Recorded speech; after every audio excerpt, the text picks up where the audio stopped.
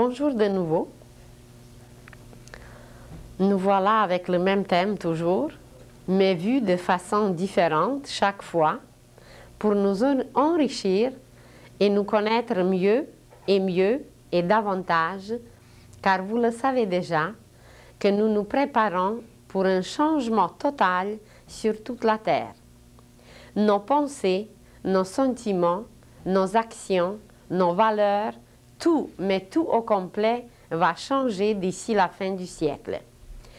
Et il n'y a rien de nouveau. On nous l'a prédit depuis très longtemps. Et vous le savez que la Terre change plusieurs cycles, elle termine plusieurs cycles, et à cause de cette fin des cycles, alors les changements seront inévitables.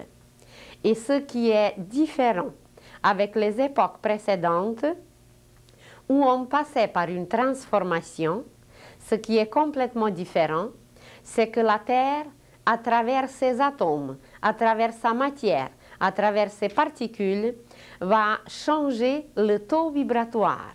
Le taux vibratoire de la matière même, et puis nous, nous sommes composés aussi de cette matière, c'est que notre propre taux vibratoire va changer.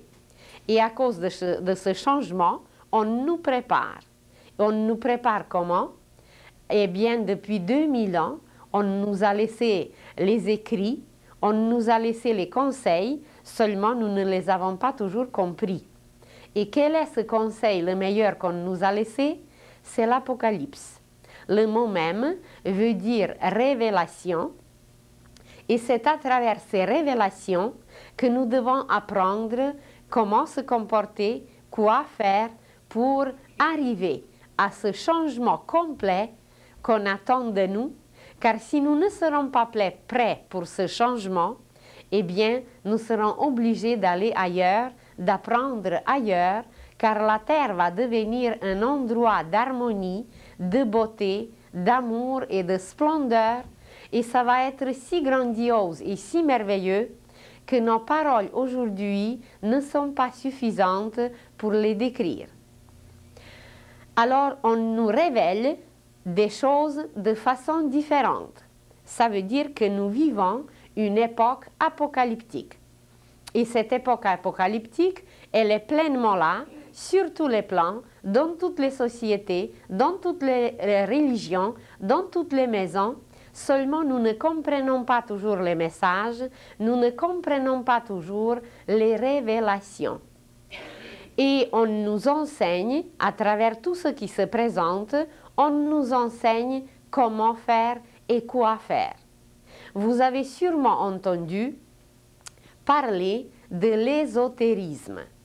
Nous nous sommes donné un thème général pour les conférences depuis le début de ce cycle, ceux qui le suivent tout le temps. Vous le savez qu'on l'appelle Connais-toi toi-même. Ce n'est pas une phrase nouvelle. Déjà à l'époque grecque, elle était inscrite sur un temple à la ville de Delphes et Socrate a pris cette phrase comme euh, devise. Et depuis, elle reste toujours valable et toujours actuelle, car nous ne nous connaissons pas plus aujourd'hui qu'à l'époque grecque. La conscience a travaillé quand même certaines choses, elle s'est éveillée un peu, mais notre conscience était tournée vers l'extérieur. Nous nous sommes enrichis, c'est vrai, mais tout ce de quoi nous nous sommes enrichis, ce sont les choses extérieures. Et ce qu'il nous faut aujourd'hui, c'est de nous connaître intérieurement, c'est de savoir que nous représentons un univers, c'est d'apprendre que nous sommes un fils de Dieu ou une fille de Dieu, et au lieu d'être une créature minable, misérable, souffrante, qui n'est capable de rien, devenir un créateur, devenir un être qui est pleinement conscient de son potentiel et qui utilise son potentiel. Nous sommes encore à l'état enfantin, exactement comme un enfant qui va devenir génie, qui va devenir un saint, qui va devenir un grand initié ou un grand maître, mais quand il est enfant, il n'a aucune notion de ce qu'il va devenir. Alors, il nous faudrait se réveiller très rapidement, car la nouvelle époque frappe pleinement à nos portes.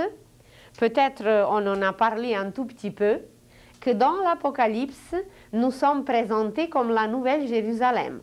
Il ne faut pas croire que cette nouvelle Jérusalem, que c'est une ville quelque part dans un pays, et que voilà, c'est là que l'âge d'or, que le royaume de Dieu, que le ciel va descendre, et que tout cela va s'installer dans cette ville. La nouvelle Jérusalem, c'est nous. C'est un nouveau, euh, c'est un nouvel être, c'est un nouveau comportement, c'est des nouvelles pensées, nouvelles, des nouveaux sentiments et surtout les actions créatrices au lieu qu'elles soient destructrices comme c'est dans la plupart des cas aujourd'hui sur la terre.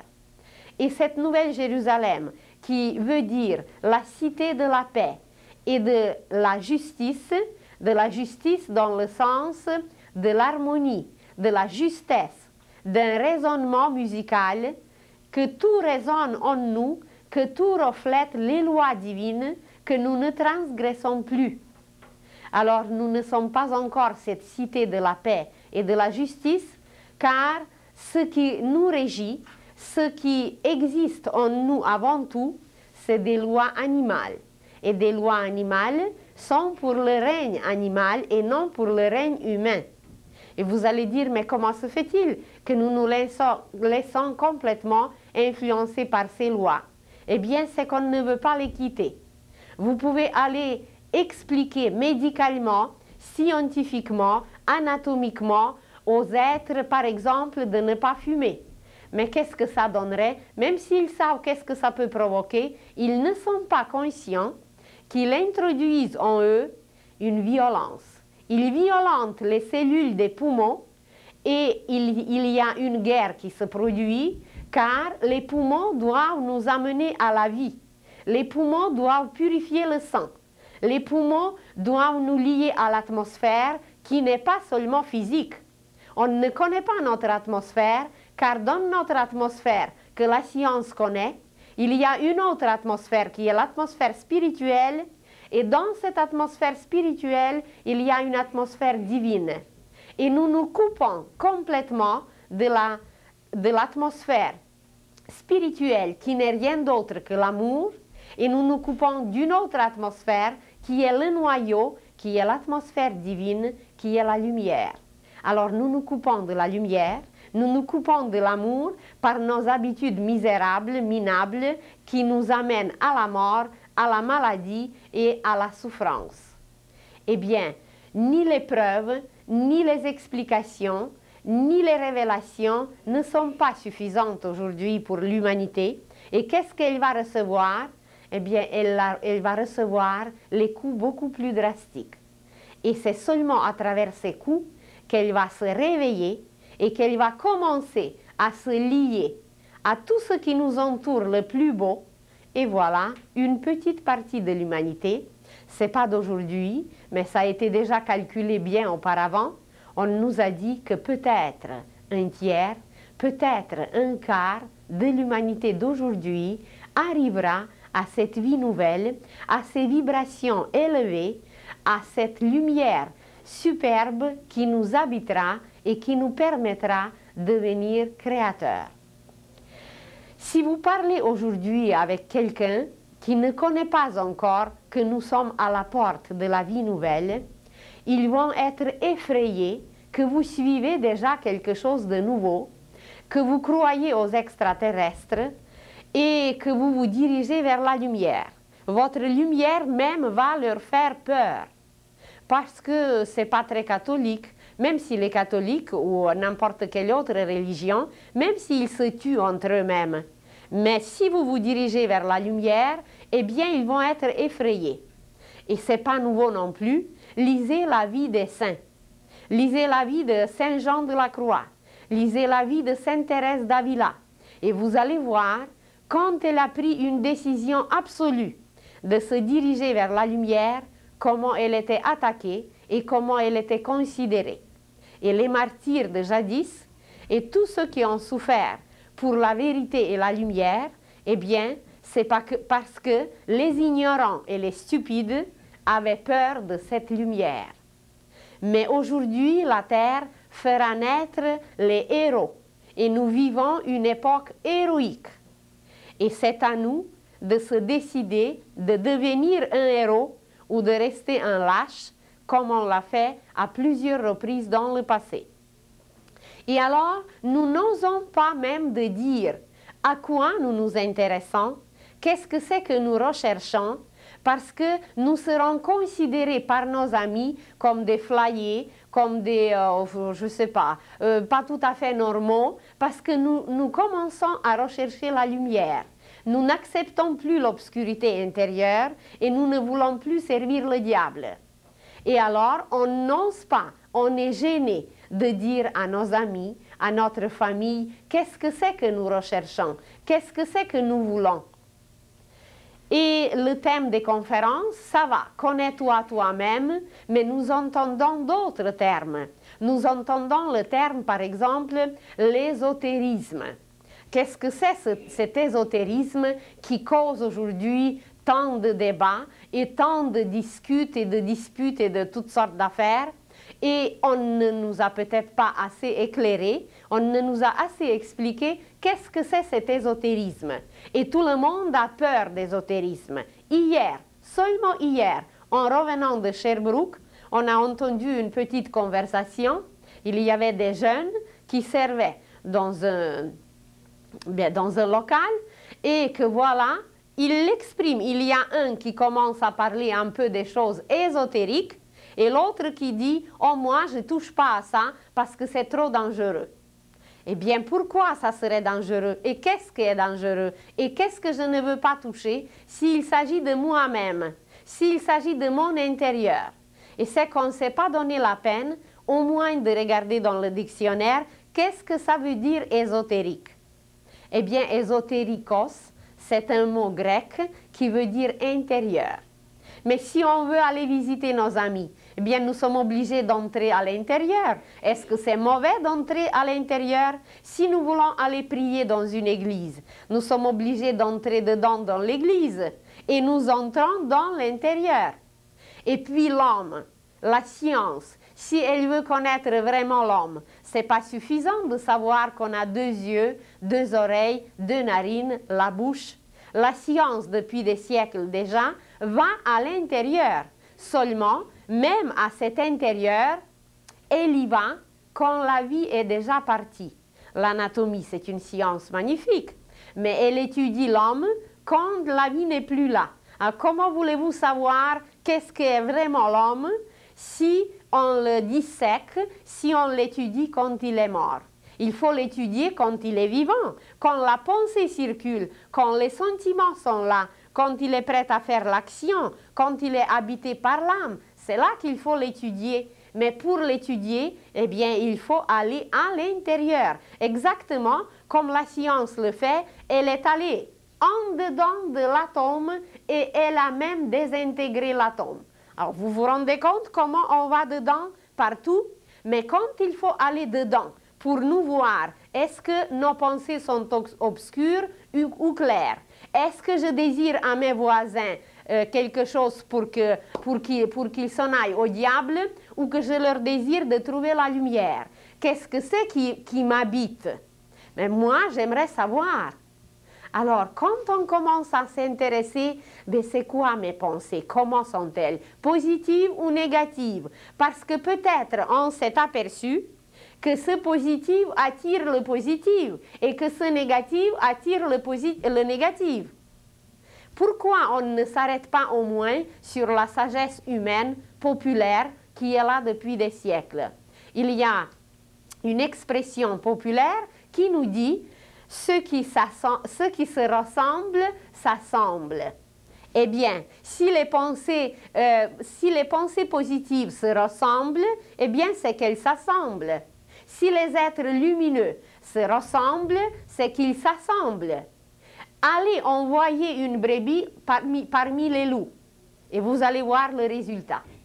Ou envoyer un loup parmi les brebis et vous allez voir aussi le résultat. Eh bien, c'est qu'ils ne se ressemblent pas et qu'ils ne s'assemblent pas. Eh bien, par quoi nous sommes habités, nous attirons la même chose envers nous, eh bien, après on souffre. Si nous sommes habités par un brouillard, si nous sommes habités par une poussière, si nous sommes habités par la rouille, si nous sommes habités par la fumée, comment voulez-vous qu'on voit clair?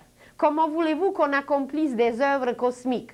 Comment voulez-vous qu'on aille visiter le Soleil, les planètes, les étoiles qui nous attendent? Il y a des écoles et des écoles à l'infini, et puis nous, on reste ici, minables, misérables, parce qu'on ne veut pas se connaître, on a peur de se regarder tel qu'on est, et puis d'améliorer la situation.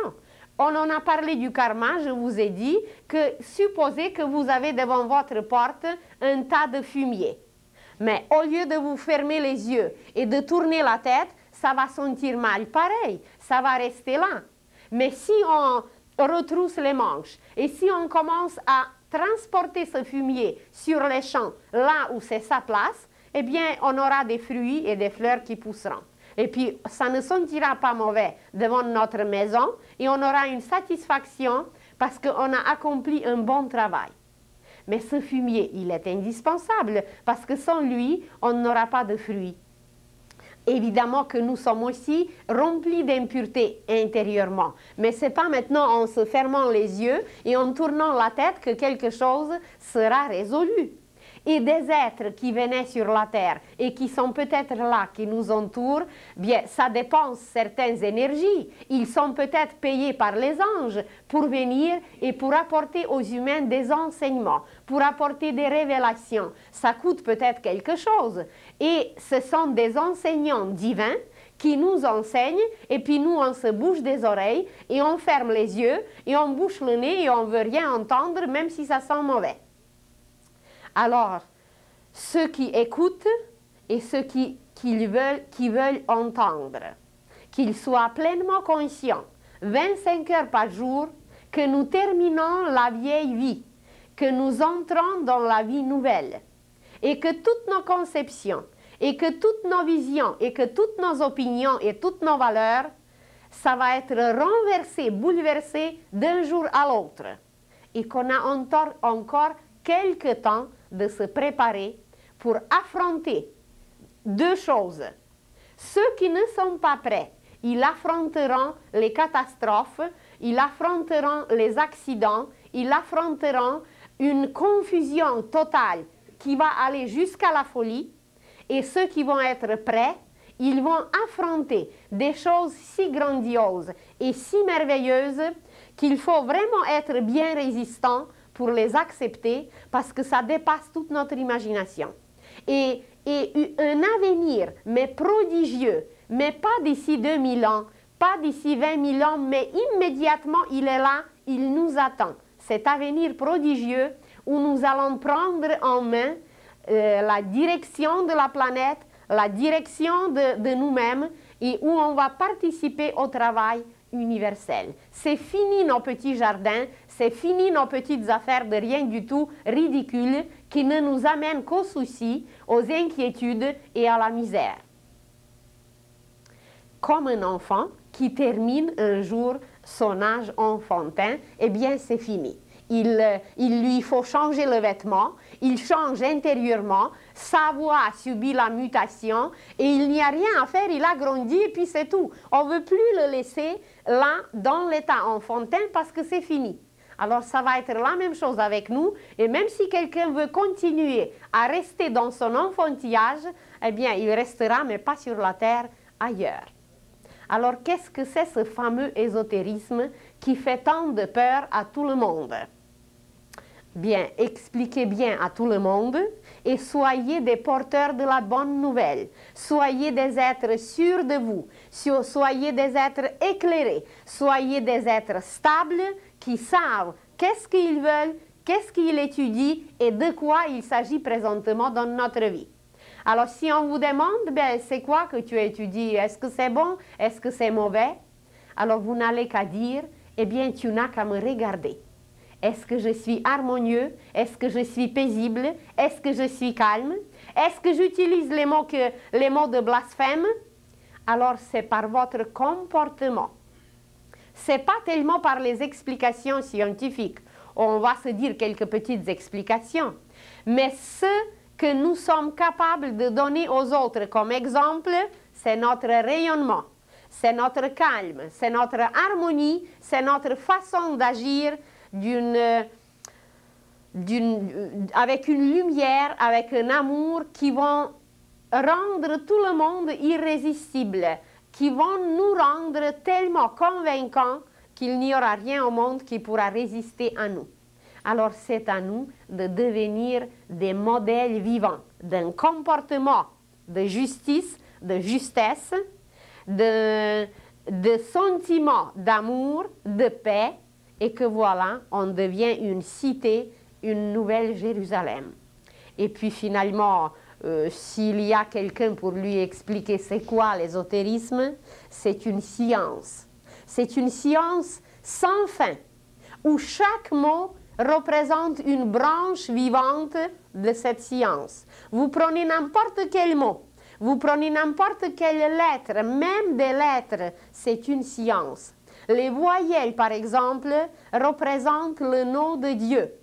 Et dans l'avenir, nous allons apprendre à chanter les voyelles d'une façon très simple, mais d'une façon tellement mélodieuse qu'en les chantant seulement, nous allons nous lier à Dieu et nous allons communier avec Dieu, seulement en chantant nos voyelles. Il y a d'autres choses à apprendre, mais on les apprendra au fur et à mesure. Mais aujourd'hui, nous devons tourner notre vision, c'est qu'est-ce que c'est que nous sommes. Est-ce que nous sommes un être animal qui doit vivre éternellement dans la loi de la violence et s'exterminer sur la terre jusqu'à aller déranger le système solaire ou que nous sommes un fils de Dieu qui doit se comporter dignement, utiliser la lumière et la puissance de l'esprit qu'on nous a donné et qu'on nous donne à profusion, et puis d'être un être digne, universel, tout simplement un fils de Dieu. Bah, alors ça dépendra de nous aujourd'hui de se décider ou de rester avec les animaux et de garder notre violence, notre agressivité et de couper les têtes à tout le monde parce qu'il s'agit de nos petites affaires personnelles qu'il faut euh, garder ou de devenir un fils divin qui est une centrale de lumière et d'amour et qui déverse tout sur tout l'univers comme le fait le Christ. Et c'est pas pour rien qu'il nous a dit, vous ferez des œuvres même plus grandes que moi. Mais c'est qu'il le savait. Disons qu'on s'est sali un peu à travers la boue, qu'on s'est souillé et qu'on a transgressé certaines choses, mais c'est peut-être pour apprendre, pour comparer et pour apprécier mieux ce qui nous attend. Alors, ésotéricos, ça veut dire intérieur. Il n'y a rien de peureux, il n'y a rien de risqué, c'est tout simplement intérieur, tout ce qui nous habite. Et nous ne savons pas qu'est-ce qu'il nous habite. On nous a dit jadis, il y a plusieurs demeures dans la maison de mon Père. Eh bien, c'est à s'étudier. La maison de mon Père, c'est peut-être nous. Parce qu'on nous a aussi dit, ne savez-vous pas que vous êtes le temple de Dieu et que l'Esprit de Dieu vous habite? Alors c'est peut-être nous cette maison. Et où sont ces demeures? Eh bien c'est peut-être nos sentiments, nos pensées, nos actions, notre possibilité de guérir les autres, notre possibilité d'exterminer les maladies contagieuses, notre possibilité de soigner la terre et de communiquer avec les astres. Mais pourquoi pas? Si c'est là, si nous pouvons mettre ces notions dans les paroles, mais c'est qu'il y a une réalité derrière. J'étais toujours frappée par les paroles et je me disais, en Russie, où on n'admet pas Dieu, mais comment se fait-il que ce mot existe? Qui l'a inventé Et puis, s'il n'y a aucune réalité derrière, mais il faut le supprimer. Et puis l'esprit, et puis l'âme, et puis l'éternité. Mais pourquoi ces mots existent? Et qu'est-ce que ça veut dire? Moi, je veux connaître et je veux me connaître où ça existe en moi. Alors, c'est la science ésotérique et ce n'est pas une secte et ce n'est pas une religion, c'est une science qui nous découvre ce que nous sommes. Et qui la possède Les grands maîtres et les grands initiés qu'il faut trouver et suivre. Et qui est le premier qu'on connaît? Eh bien, c'est le Christ. Mais est-ce qu'on l'a suivi? On l'a cloué sur la croix. Et puis depuis, ceux qui devaient le suivre, qu'est-ce qu'ils ont fait? Des croisades et la politique et tout ce qui menait l'humanité vers la destruction. Alors, de se comporter tout simplement un peu plus dignement et de se dire tout à fait raisonnablement, comme un enfant qui termine son âge enfantin, de se dire, bien mon Dieu, c'est l'âge adulte qui m'attend. Et peut-être euh, il y a des êtres, il y a une famille universelle qui attendent de moi des œuvres, qui attendent de moi quelque chose que je donne, des fruits, que j'offre des choses merveilleuses, puisque depuis 250 milliards d'années, on m'a nourri, on m'a vêtu, on m'a supporté avec toutes mes impuretés, avec toutes mes saletés. Et bien que peut-être aujourd'hui, je dois me mettre un peu au travail. Et les révélations, les révélations sont là constamment. Socrate nous les a apportées, la ville de Delphes nous les a transmises, mais est-ce qu'on se base sur quelque chose? Est-ce qu'on se comporte vraiment comme un enfant raisonnable? Alors si on vous demande, bien c'est quoi, c'est à quoi que tu t'intéresses, c'est quoi cette science ou je sais pas quoi là, on ne sait même pas nommer qu'est-ce que c'est. Eh bien vous, vous, pouvez dire tout ouvertement et tout clairement, ben, sans crier sur le toit, vous pouvez dire tout simplement, c'est une science, je m'intéresse à, me connaître intérieurement et ils vont vous sûrement demander pourquoi, pour mieux vivre vous n'allez pas dire tout de suite pour boire l'élixir de vie et pour arriver à la vie immortelle. Parce que le vrai but, c'est ça, pour se connaître et pour faire circuler en nous la puissance christique qui est l'élixir de vie et qui va nous permettre de vivre éternellement. Mais vous allez leur faire peur. Alors dites tout simplement pour mieux vivre, pour mieux vous supporter, pour être indulgent, pour être tolérant, pour comprendre mieux les choses parce que si on croit qu'on comprend quelque chose, c'est qu'on se trompe grandement. Dans les évangiles, Jésus donne des paraboles. Mais ces paraboles représentent une science. Chaque parabole, c'est une science. Si on commençait à enseigner à nos enfants la parabole du fils prodigue, comment il s'est éloigné de la maison paternelle jusqu'à aller chercher les, pourceaux et les pêtres, eh bien, c'est l'histoire de l'humanité. Juste dans cette parabole, on a assez, on a le programme pour des vies et des vies, pour le système d'éducation avec une seule parabole, parce que c'est l'histoire de l'humanité. Mais est-ce que nous l'avons compris? Est-ce que nous avons pris ce, thème extraordinaire pour enseigner quelque chose de merveilleux à nos enfants, qu'est-ce qu'on leur donne? Des pistolets. Et qu'est-ce qu'on leur enseigne? Comment détruire les autres. Et dès qu'il atteint 20 ans, eh bien, ils sont prêts à être les chefs de mafia et servir le diable. Eh bien, heureusement que cette époque se termine et que les enfants apprendront les vérités et qu'on ne leur on n'introduira plus en eux le mensonge.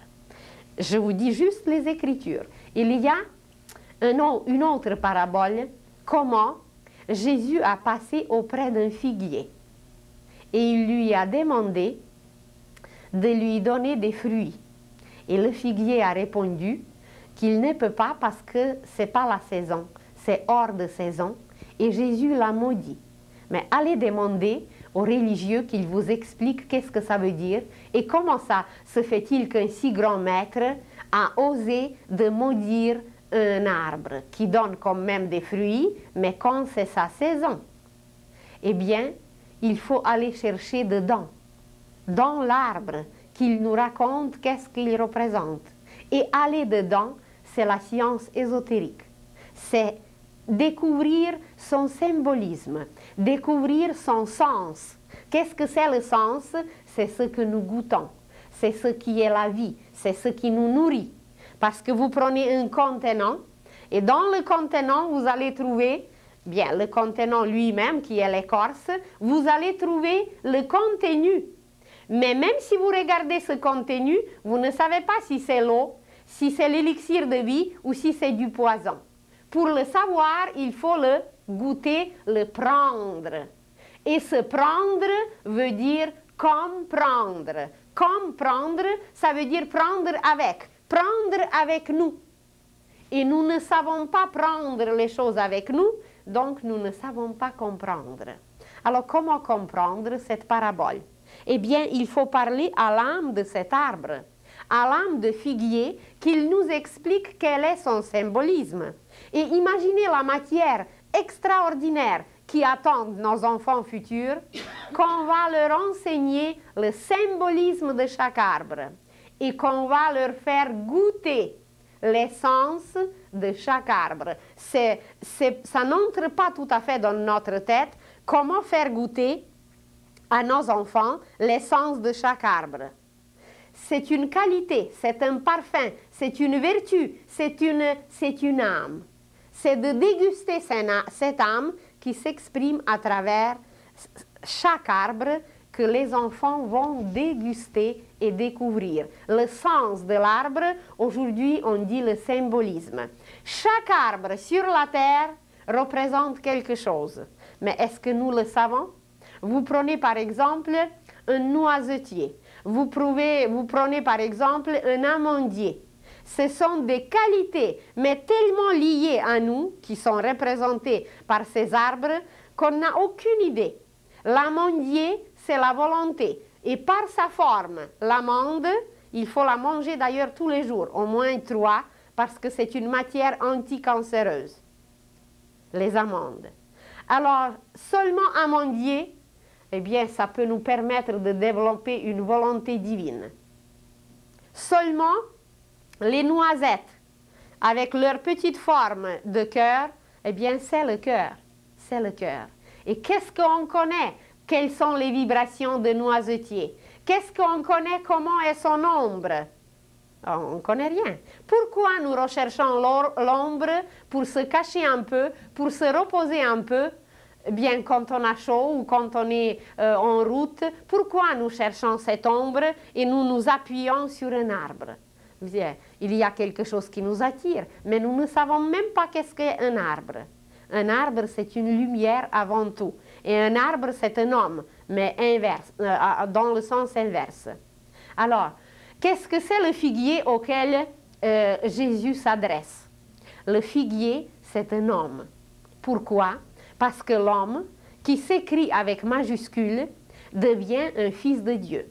Et un fils de Dieu a la conscience de tous les fils de Dieu. Il y a des anges, des archanges, des archers, des dominations, des puissances, des, chérubins, des séraphins, jusqu'au plus haut degré, tous ces fils de Dieu, eh bien, ils sont tous euh, aimés par Dieu et ils ont leur conscience, ils ont leur amour ils ont leur sagesse.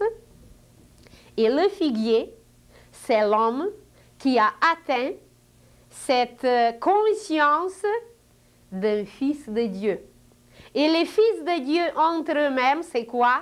C'est des frères. Et ces frères forment la fraternité dont Jésus nous a parlé. Il a pensé un peu à la fraternité humaine ici sur la terre.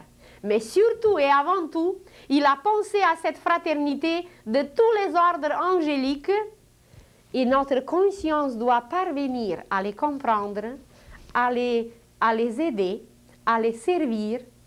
Et c'est le figuier qui représente cette conscience fraternelle ou la conscience de l'âme ou la conscience d'un fils de Dieu qui sait quelle est sa place dans l'univers parce qu'il se connaît et comment il se connaît? Eh bien, mangez la figue, observez la figue et vous allez comprendre comment nous sommes. Qu'est-ce qui, de quoi elle est remplie? Elle est remplie de petites graines. Et qu'est-ce que c'est ces graines? C'est nos organes, c'est nos cellules. C'est une petite fraternité intérieure, puisque nous sommes un être complet. On s'est dit que nous sommes un univers. Et voilà, cet univers, avec la conscience d'un fils de Dieu, qui reconnaît tous les fils de Dieu. Parce que peut-être on va découvrir un âme que d'accord, il y a en nous une âme maîtresse, une âme qui nous habite, qui nous dirige, mais que chacune de nos petites cellules, puisqu'elle est vivante, elle a, elle a comme des petites facettes de cette âme, et cette petite facette ben, c'est une cellule en elle-même qui est une entité petite en elle-même, ben, c'est qu'il y a des milliers de petites âmes ici qui nous habitent. Chaque cellule a sa vie. Il y a les cellules des poumons qui ne sont pas du tout pareilles que les cellules du cerveau. Et il y a les cellules des orteils et des, pieds qui ne sont même pas du tout pareilles que des cellules d'un œil. Et comment se fait-il que ces cellules doivent vivre en harmonie et se supporter et s'aider et s'entraider et puis euh, que l'harmonie règne? Parce que dès qu'il y a une moindre inharmonie, c'est la maladie, c'est le désordre, c'est la désobéissance. Eh bien, puisque nous sommes un univers, et puisque nous devons nous connaître, c'est cette conscience d'une figue, ça veut dire d'une petite fraternité, des petites filles de Dieu, des petits fils de Dieu qui habitent tout ensemble et qui travaillent tous ensemble. Vous savez comment, qu'est-ce qu'il arrive quand vous avez des crises de foi? Eh bien, c'est qu'il y a quelque chose en nous qui a désobéi à la loi de cette fraternité, qui, a, qui n'a pas voulu servir, qui n'a pas voulu faire comme il faut pour aider les autres et que voilà, eh bien, ça se présente comme une désorganisation, comme une inharmonie et qu'on souffre. Alors la figue, c'est la conscience fraternelle. Et on va prendre avec le temps chaque fruit. Et les enfants, nos enfants, parce que nous ne voulons pas, mais nos enfants voudront. Nos enfants s'émerveilleront de ces fruits, comment ces fruits sont en nous, comment nous sommes remplis de merveilles, comment nous sommes remplis de symboles et de choses dont on n'a jamais pensé. Et alors nous sommes une figue, un fruit savoureux, un fruit avec le goût sucré, parce que c'est quoi ce goût sucré? La saveur douce, c'est l'amour. Nous sommes un être d'amour, nous sommes un enfant d'amour et on refuse d'aimer. D'aimer qui? Mais nos poumons, notre gorge, notre bouche, puisqu'on on prononce des blasphèmes, puisqu'on introduit des impuretés en soi-même, on se violente. Et on entretient la loi de la violence avant tout dedans. Et puis comment voulez-vous qu'à l'extérieur ça s'arrange, puisque l'extérieur nous reflète? Alors voilà. Demandez à qui vous voulez qu'il vous explique n'importe quelle parabole de la, de la Bible, des évangiles, et qu'il vous transmet tout ça comme une science, comme un amour, une religion, et comme un art. Parce qu'à travers ce, ce symbole de la figue et du figuier, qu'est-ce que résulte? C'est que Jésus l'a maudit. Mais qu'est-ce que ça veut dire maudire? Est-ce qu'on sait nous expliquer? Est-ce qu'on on sait comprendre? Eh bien, c'est très simple. C'est que si ce figuier qui représente l'homme, l'homme qui est créateur, l'homme qui est fils de Dieu, l'homme qui doit se nourrir de lumière sans cesse, parce que cette lumière est là à profusion. Je vous le demande, est-ce que le soleil a manqué une journée? Est-ce qu'il a dit demain, je ne me lève pas et je vais faire la grève? Eh bien, si lui, il ne l'a pas fait, pourquoi nous le faisons? De quel droit nous le faisons si ce maître de notre univers, qui est la demeure du Christ, on ne sait pas encore qu'est-ce qu'est le soleil, et on ne sait pas c'est quoi le cœur du soleil, et que le Christ y habite. Alors à qui nous, nous désobéissons, nous les bons chrétiens? Eh bien au Christ. Et puisque nous lui désobéissons, c'est que nous refusons l'amour. Et lui, il est le Fils de Dieu. Mais nous, nous sommes des petits enfants, aussi les fils de Dieu. C'est pas pour rien qu'il a dit qu'on fera des œuvres même plus grandes que lui. Et si nous n'acceptons pas sa lumière, et si nous n'acceptons pas sa puissance, évidemment que nous ne pourrons pas donner des fruits. Et pour un arbre qui est dans le règne végétal, c'est bien, il y a encore des saisons. Parce qu'il va évoluer et à un certain moment, il n'y aura plus de saison, il sera obligé de, donner les fruits constamment. Et c'est ça que Jésus a demandé. Il a demandé à nous tous, à chaque homme de la terre, ce figuier, c'est chaque homme de la terre. Est-ce que tu as tes fruits?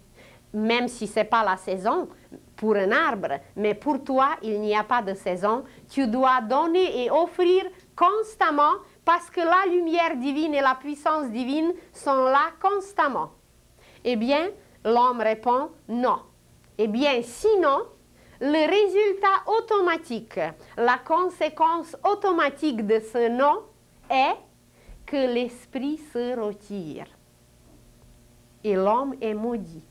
Et le figuier est maudit, ça veut dire qu'il n'est plus nourri de lumière et qu'il n'est plus nourri, qui était quand même présente, mais il ne l'utilisait pas. C'est comme si vous avez dans votre cuisine, comme on en a dit déjà peut-être, vous avez un robinet vous avez deuxième robinet, troisième robinet. Il y a à travers le premier l'or liquide qui coule. À travers le deuxième, l'élixir de vie qui coule. À travers troisième, euh, une autre merveille qui coule.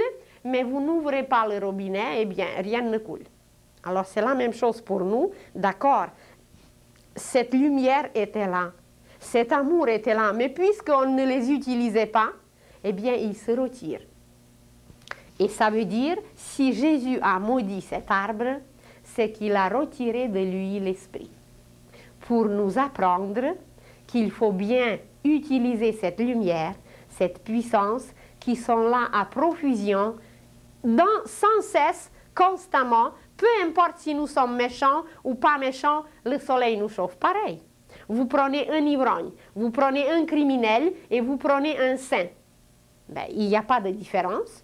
Le soleil ne se cache pas devant le criminel et il va chauffer le saint. Il diffuse sa lumière pareillement envers tout le monde. Mais quel travail fait le criminel et quel travail fait le saint avec ce soleil, c'est là la différence. Pourquoi? Parce que le criminel, le voleur, il va chercher l'obscurité pour accomplir ses œuvres. Vous le savez bien que les voleurs attendent la nuit pour aller voler. Tandis qu'un saint, il va attendre le soleil, il va se lever avant que le soleil se lève et il va puiser cette force consciemment pour la donner après aux autres, pour guérir les autres, pour soigner les autres et pour transformer la terre. Alors, voyez que tout ce qui nous entoure est très ésotérique. Vous prenez chaque parabole, vous prenez n'importe quelle fleur. Je vous parlerai un jour des roses. Là, on les a assez souvent. Je vous parlerai des roses. Je vous parlerai de n'importe quoi. Et vous allez voir que chaque chose a ce côté intérieur ésotérique dont on n'a aucune idée. Et même si la science s'occupe bien des souris, des lapins, des moustiques, des bibites, de je ne sais pas, des microbes, ben ça ne nous aide pas trop parce que ce n'est pas tellement les manières lumineuses qu'on utilise pour toute cette analyse. Alors voilà, la parabole du figuier, elle est très ésotérique parce qu'elle représente un homme qui doit arriver à la conscience d'un fils de Dieu. Et ce fils de Dieu qui est homme a ses frères dans l'univers entier. Et avec ses frères, il doit former une conscience fraternelle. Il doit prendre avec la gratitude la lumière, l'amour, l'indulgence, la compréhension et tout ce qu'il nous offre. Mais ils ne nous ont pas exterminés malgré notre méchanceté. Regardez la terre entière, comment on se comporte après deux guerres mondiales où on n'a pas réussi à s'exterminer au complet, eh bien on prépare à s'exterminer pendant la troisième. Et ça va aller si loin qu'il faudrait que les anges interviennent parce qu'on va déséquilibrer le système solaire.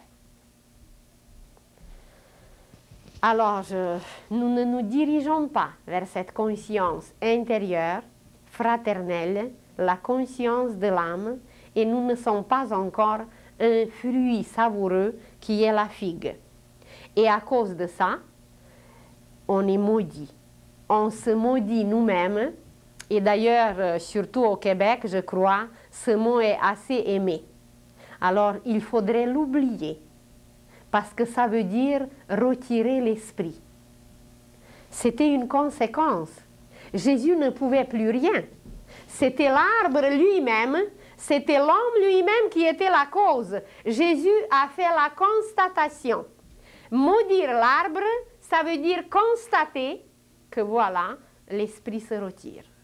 Alors, on ne peut pas quand même accuser Jésus qu'il a maudit l'arbre. C'est l'homme lui-même qui se maudit par son comportement, par son ignorance, par sa paresse et par toutes ces qualités, entre les guillemets, qui nous amènent vers l'enfer.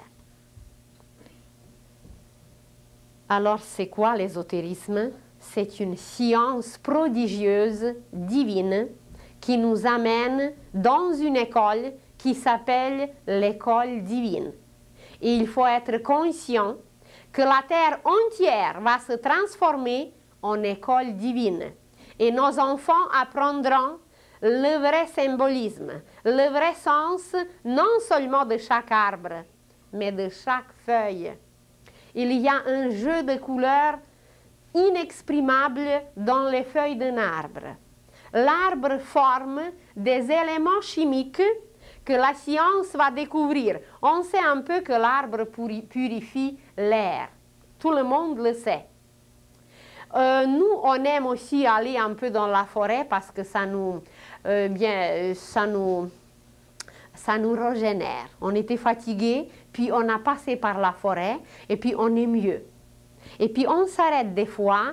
Ce qu'on peut distinguer, c'est que dans la cime, il y a un chuchotement que les feuilles se parlent. Mais ce n'est pas seulement que les feuilles se parlent par un chuchotement. Il y a une vraie musique. Il y a des couleurs superbes qui se déversent. On va parler avec la sève d'un arbre. Mais la première manifestation qu'on doit montrer, c'est ce petit amour, c'est cette petite dose d'amour pour vouloir à se, connaître à connaître un tout petit peu ce qui nous entoure et qu'avec le temps, espérons, on connaîtra l'univers entier. Alors, l'ésotérisme, c'est une science. Mais ce n'est pas seulement une science. C'est une science qui n'est pas humaine, c'est une science divine.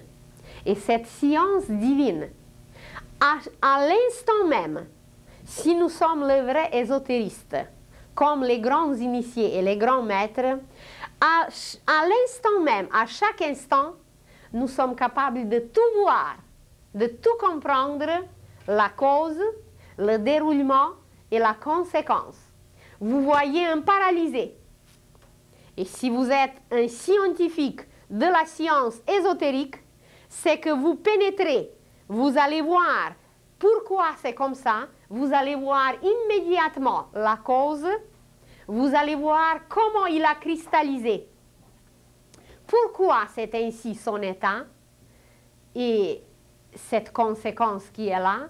Et en plus, vous allez voir comment le guérir, comment l'aider.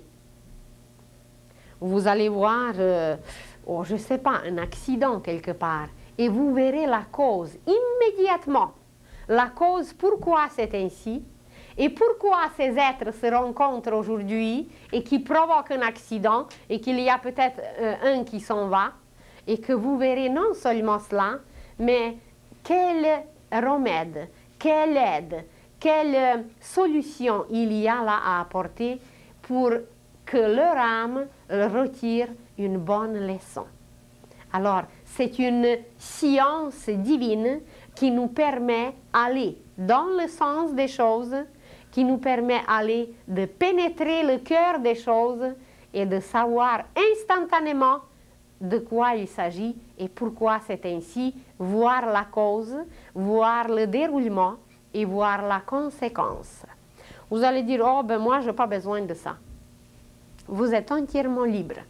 Il n'y a personne au monde, même pas le Seigneur, qui va, qui va vous forcer d'aller apprendre et d'aller en dedans de vous-même. Ça, c'est vrai, on a une liberté qui s'appelle, ce n'est pas vraiment la liberté, mais ça s'appelle le libre arbitre. On nous l'a donné, ça fait longtemps. Et d'après ce libre, euh, ce libre arbitre, on ne nous force pas. Mais il y a quand même quelque chose qui va nous amener, on dit jusqu'au pied du mur, c'est la vie. c'est la vie qui ne supporte pas les parasites. C'est la vie qui, va nous, qui ne supporte pas l'imperfection. C'est pas pour rien que Jésus nous a dit de devenir parfait comme le Père céleste est parfait, parce qu'il connaissait ses lois. Et le meilleur exemple, c'est la nature qui nous donne. Mais est-ce que nous observons la nature? Est-ce que nous regardons qu'elle ne brusque rien? Est-ce que nous regardons comment elle travaille comme un, comme un alchimiste parfait? Et n'importe quelle impureté que nous lui donnons, la terre la transmue en, en fleurs, en parfums et en fruits savoureux.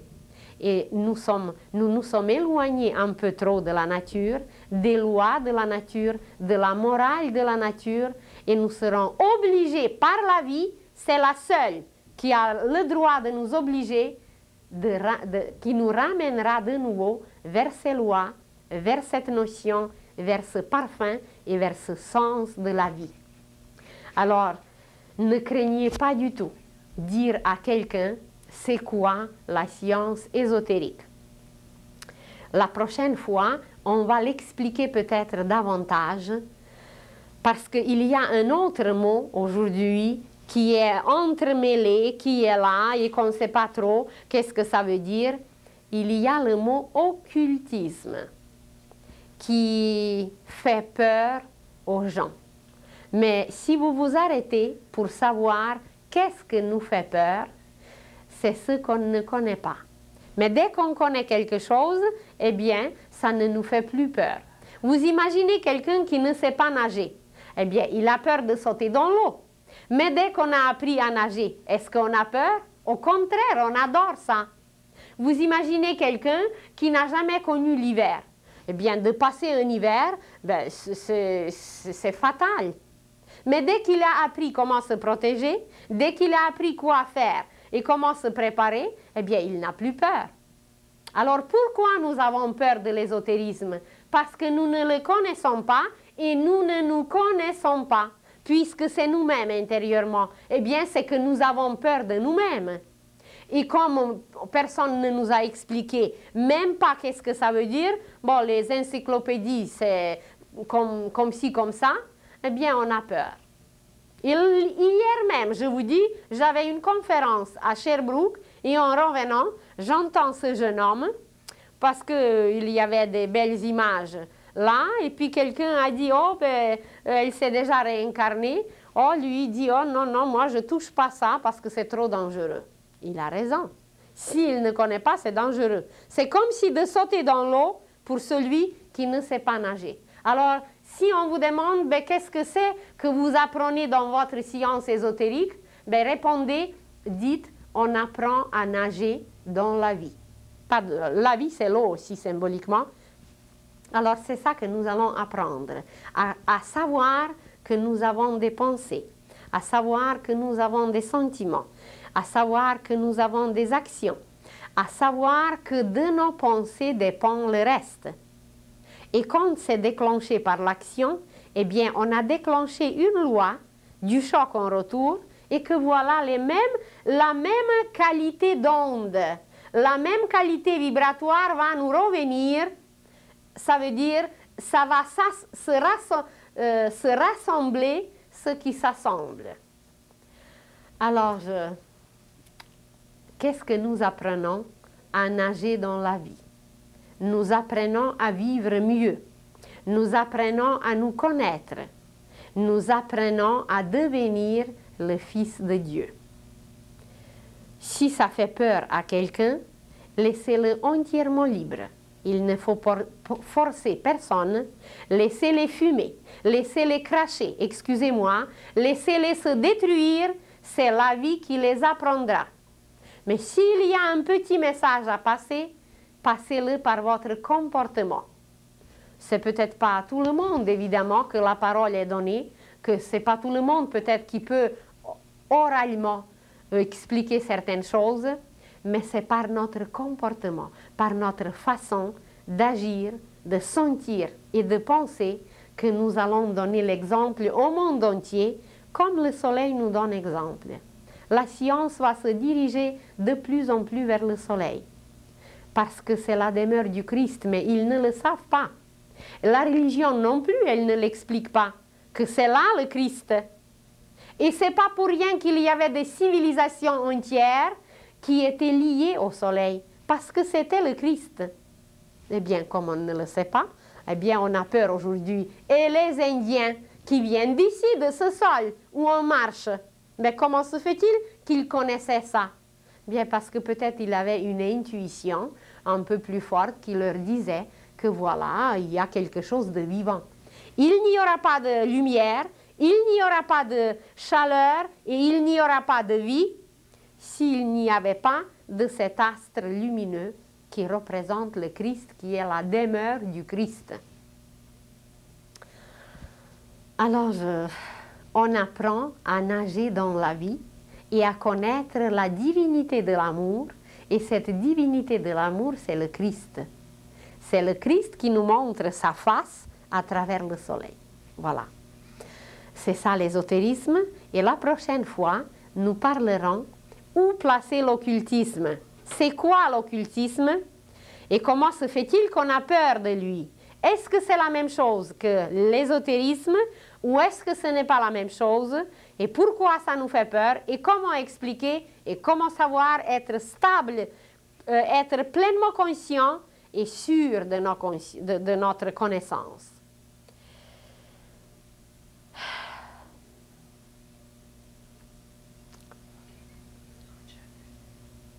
Alors, nous continuerons encore quelque temps à exposer certaines choses sur nous-mêmes, comment se connaître mieux? Je crois qu'on a parlé de la structure de l'homme, qu'on a parlé de nos pensées, qu'on a parlé comment, comment reconnaître si elles sont belles ou non. On a parlé de nos centrales énergétiques qui sont les chakras. On a parlé comment on nous amène à se connaître, qui est un, un chemin initiatique. Initiatique, ça veut dire aller dedans. On en a parlé. Initiation veut dire aller dedans.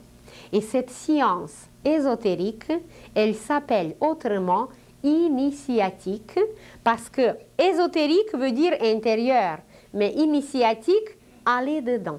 Ça veut dire pour aller connaître cet intérieur. Alors la prochaine fois, nous continuerons bien à nous éclairer un peu plus bien toute cette science abracadabrante qui fait peur à tout le monde.